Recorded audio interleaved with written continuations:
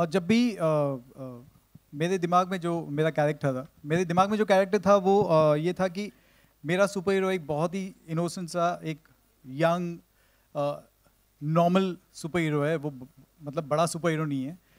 आ, जब वो लड़ेगा किसी से तो मुझे चाहिए था कि ऐसा सुपर विलन जिसको देख के आदमी को ये लगे कि ये कैसे हरा सकता है। सो दैट्स वाई जब मैंने मैड मैक्स देखी और जब इनका कैरेक्टर देखा मैंने बोला यार ये ये तो किसी भी हालत मुझे चाहिए इस फ़िल्म में क्योंकि टाइगर के साथ अगर ये खड़े रहें तो अभी भी आप देख सकते हैं जो डिफरेंस है। ये देखो। सो